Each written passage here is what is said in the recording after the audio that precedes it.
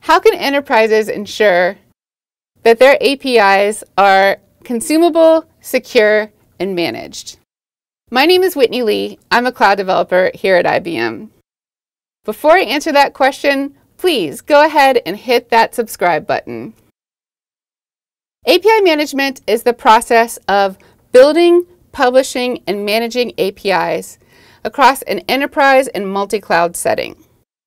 More than just a place for these APIs to live, API management offers a centrally visible, scalable platform where enterprises can share and socialize their APIs while ensuring uh, controlling access, collecting usage statistics, and um, enforcing associated security policies.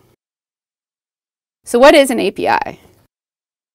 A popular way to talk about what an API is is by using a restaurant metaphor. So let's think of a kitchen at a restaurant. Now there's a lot of complexity here.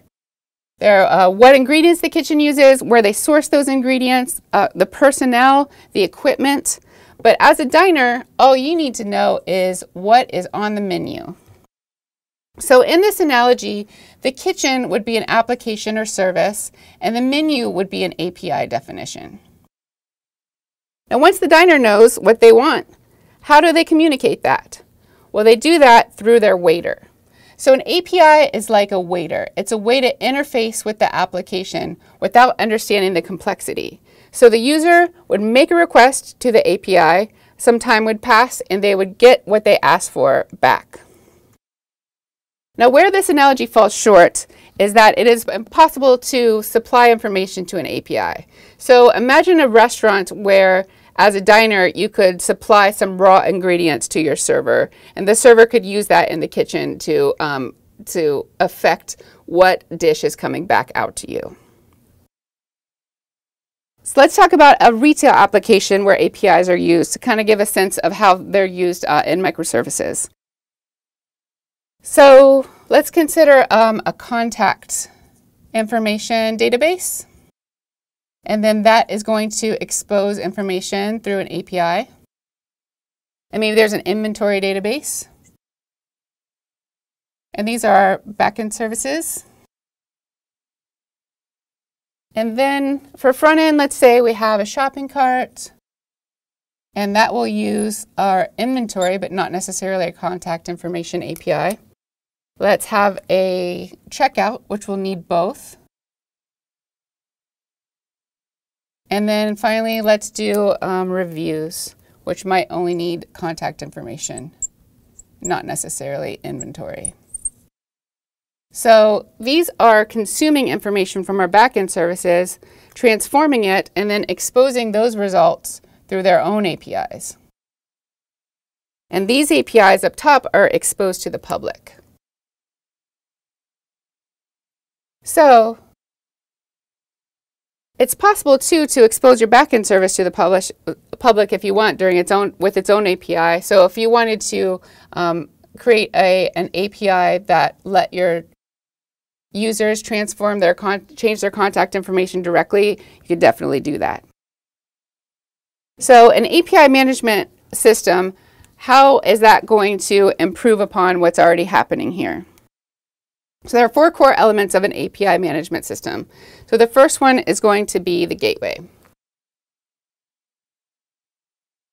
So the gateway sits between the web client and the systems and services that it's connected to.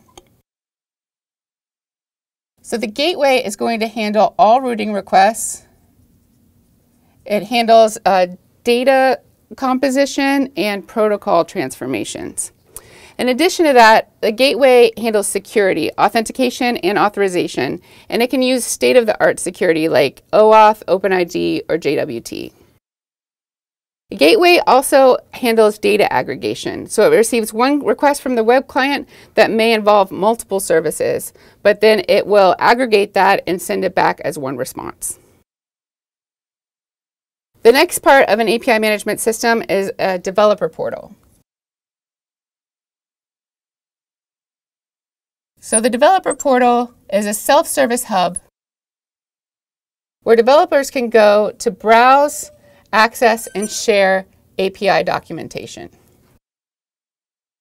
So if we have an API definition is like our menu, this is like a, a menu of menus.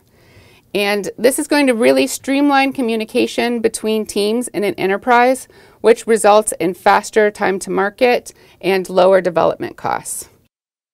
This example has six APIs, so you can imagine across an enterprise there could be hundreds or even thousands of APIs. So being able to centralize access to that is invaluable.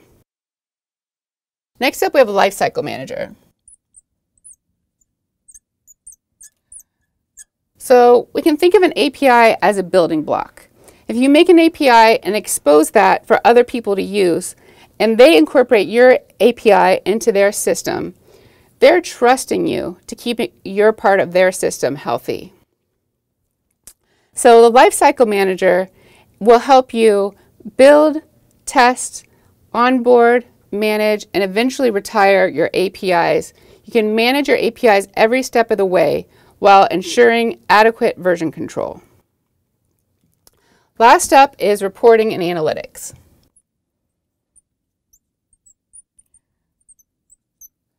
API management solutions use synthetic monitoring to um, watch each API's avail availability, response time, and overall health. You can also incorporate analytics solutions for automated recording over time. So these can be used to um, diagnose and troubleshoot integration issues as they arise, and they can also use they can also help enterprises make better informed decisions about their um, applications and services. So how how does this affect some real life scenarios? So let's consider um, banks, and now they offer login through a mobile app. That mobile app login requires two-factor authentication. So a regular login plus a phone number verification. So a telecommunications company might build an API, build a service that verifies phone numbers and expose that service via an API. And in that way, they're able to monetize their existing data and create an entirely new source of revenue. So they're going to use the reporting part of the API management to be able to see who's using their new API, how it's being used, and um, to set their prices and eventually collect money. Or let's consider a rideshare app.